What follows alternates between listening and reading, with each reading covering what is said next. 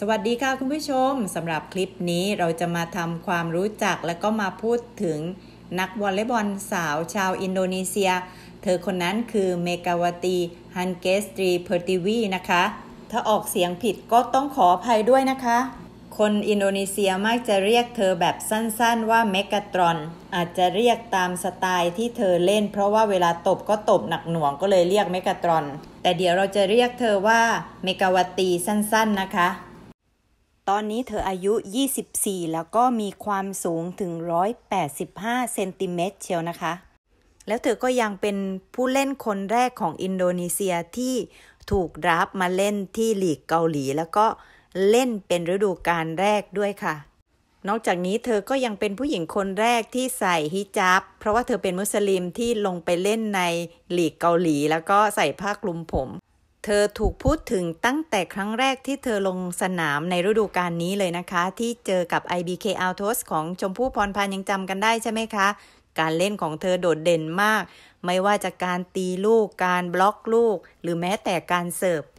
ในเกมนั้นเธอก็พาทีมของเธอ Red Spark ชนะไปนะคะ แล้วก็เธอยังคว้ารางวัล MVP Award ไปครองด้วย ด้วยคะแนนที่เธอทำได้ถึง 21 คะแนนค่ะ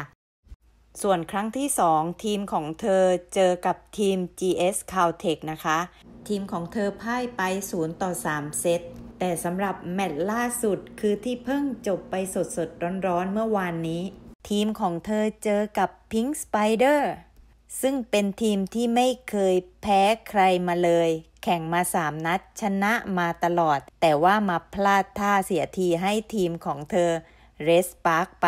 2 ต่อ 3 เซต ยิ่งทำให้ผลงานของเมกาวตีเพิ่มความโดดเด่นขึ้นไปอีกในเรื่องของการตีลูกตบลูกทำคะแนน คิดดูว่าเกมเมื่อวานที่เจอกับ Pink Spiders เนี่ย โดน Pink Spiders นำไปก่อน 2 เซตนะคะ แต่ว่าบุกกลับหรือว่าสู้กลับแบบไม่กลัวเลยอะสู้อย่างเซตที่ 3 เนี่ย เธอสู้แบบไม่มีอะไรจะต้องเสียน่ะ ตบเอาตบเอาเห็นไหม แล้วก็สู้จนชนะกลับมาได้ในเซตที่ 3 คิดดูชนะไปได้ 25 ต่อ 22 ส่วนเซตที่ 4 นะคะ ไม่น่าเชื่อเลย ชนะไป 25 ต่อ 7ทำไปได้ยังไงคิดดู แล้วก็ต้องไปจบกันด้วยเซตที่ 5 นะคะ ก็แข่งกันมันมากสูสี